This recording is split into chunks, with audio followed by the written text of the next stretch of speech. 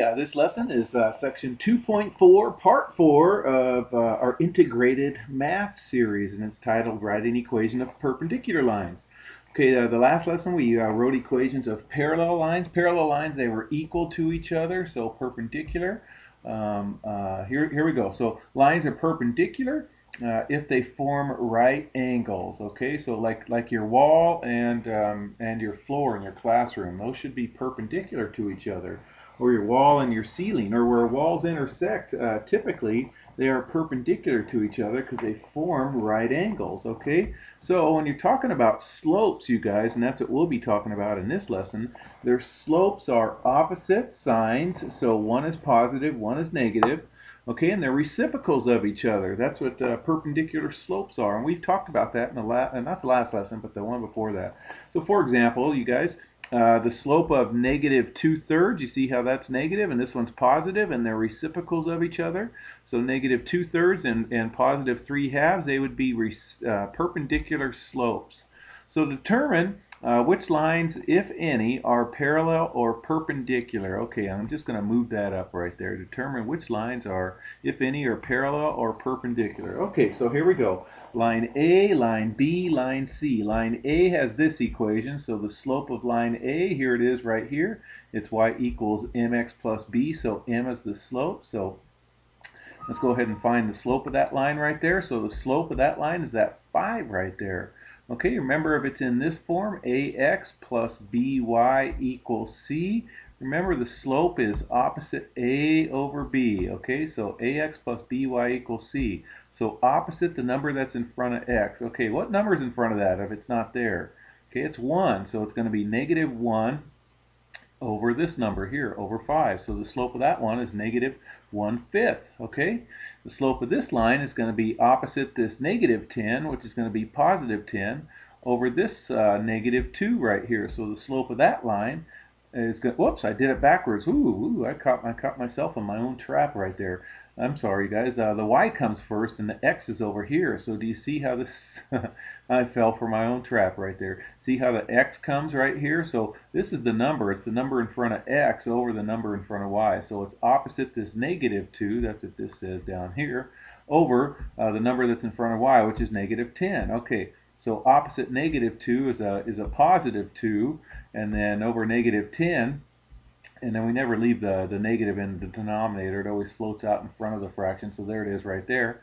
Okay, so uh, this is also negative one-fifth. These two are the same, so negative one-fifth or negative the fraction one-fifth, okay? You can have the negative in the numerator, but not in the denominator. Don't ask me why they come up with those rules. So let's answer the question, you guys. So uh, the, it says uh, determine which lines are parallel or perpendicular, if any. Okay, and I don't know if you can read this down here, so I put it over here on the side. So lines B and C, line B has slope negative 1 fifth, and line C has also slope negative 1 fifth. So lines B and C has the slope, uh, the same slope, and are parallel to each other. So these lines would be parallel to each other. And then line A, this, this one is 5, which is 5 over 1. It's the opposite reciprocal of these guys right here. So 5 is an opposite reciprocal of negative 1 fifth. So right here it says line A is perpendicular to lines B and C because 5 is opposite reciprocal of negative 1 fifth. So line A is perpendicular to um, uh, B and C, and then B and C are parallel to each other. Write an equation of the line that passes through the given point and is perpendicular to the given line. Okay, so it's going through this point and it's perpendicular to this line. Okay, the slope of this line, I don't need that plus 3 at all. I'm just looking for that slope right there. So the slope of this line is at uh, uh, negative, or is that 2 right there? So perpendicular slope would be to flip 2, 2 over 1, and change the sign. So it's going to be a negative 1 half. So y equals negative m, or y equals mx plus b, and our m is uh, negative 1 half. Okay, remember from the last lesson, how do we get b? We substitute 4 in for x, and we substitute in negative 5 in for y right there. Okay, so now we're going to go ahead and plug them in. So uh, there we go. And then uh, I'm going to go ahead and cancel that 1 half and the 2, or the 4 cancels. 2 goes into 4 twice. Okay, it's still negative, you guys. So I have negative 5 equals negative 2 plus b. going to add 2 to both sides, and I get b equals negative 3.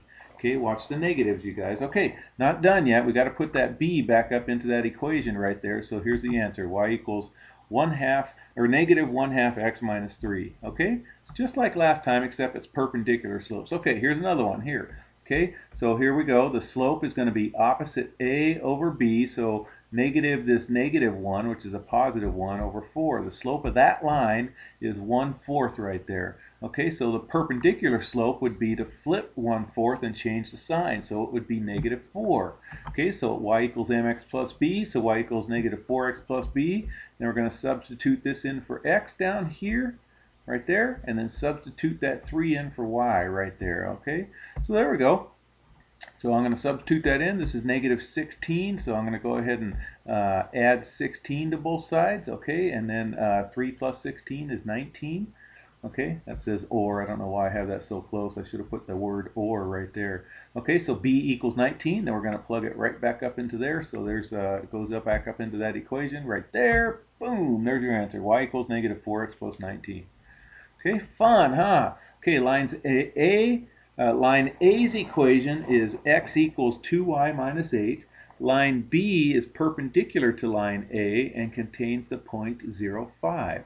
All right, well, let's get the slope of this guy. Let's put this guy in standard form, okay? So you could solve for y if you want. I did not. I, I put it in standard form, so I subtracted uh, 2y from both sides. x minus 2y equals negative 8. All right, and then the slope, you guys, the slope we're going to do um, opposite this number over this number. So it's going to be negative 1 over negative 2, okay? And then uh, that equals positive 1 half. So that's the slope of line A. Okay, line B is perpendicular, so I got to flip this guy and change the sign. So the slope of uh, perpendicular slope is going to be negative 2. Okay, so y equals negative 2x plus b, and then now we're just going to substitute that point in right there, and we're going to get, um, uh, let's see, uh, put in 5 and 0, and I get uh, 5 equals 0 plus b, or b equals 5. Okay, easy enough, and put that right up into there.